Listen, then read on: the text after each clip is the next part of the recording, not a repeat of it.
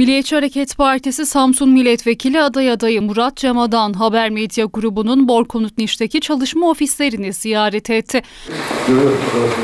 Borsan Grup Yönetim Kurulu Başkan Yardımcısı Ahmet Şen Ocak, Haber Medya Satış ve Pazarlama Müdürü Mehtap Yeşilbaş, Haberaks TV Genel Yayın Yönetmeni Onur Nur Demir'le görüşen Cemadan önemli açıklamalarda bulundu.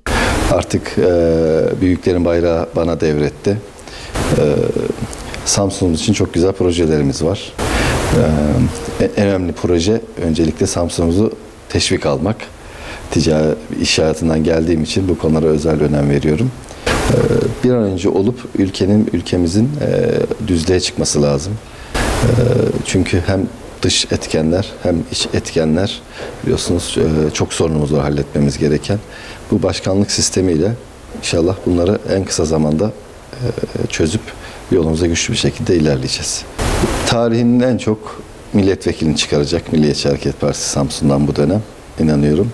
Sayı vermek istemiyorum nazar değmesin ama buna beraber şahit olacağız. Çok güçlü aday adaylarımız var, çok güçlü ekiplerimiz var, çok sıkı hazırlanıyoruz.